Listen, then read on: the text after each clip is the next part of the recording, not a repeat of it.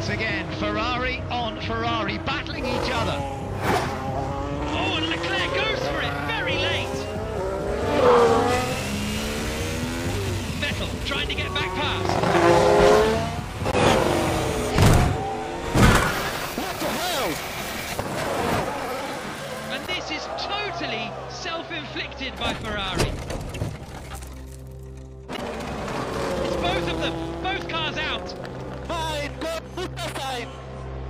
What the hell is he doing? Try to come in slowly, slowly